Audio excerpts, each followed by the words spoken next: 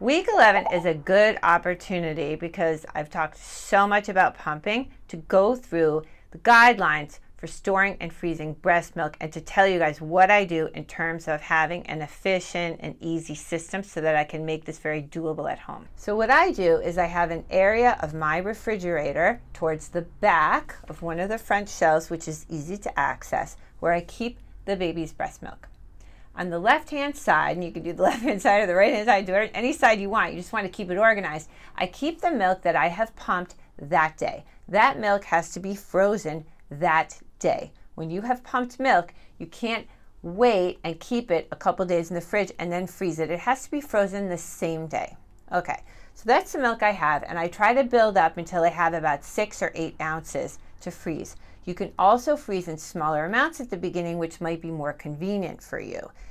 Now, on the right hand side is where I keep defrosted breast milk. That's the milk that I'm going to give the baby that day. Because what I like to do is to cycle through and use the oldest milk first and freeze the fresh. It is advisable when you're pumping that you give your baby the freshly pumped milk.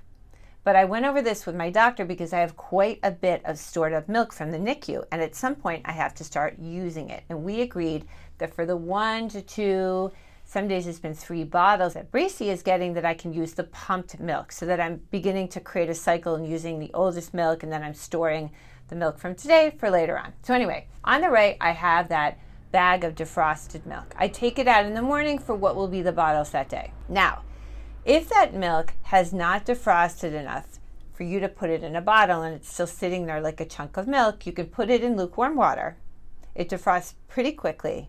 At that point, you can place it in a bottle and you can heat it in a bottle warmer. But make sure that you don't heat it too hot because that can destroy some of the properties of the milk.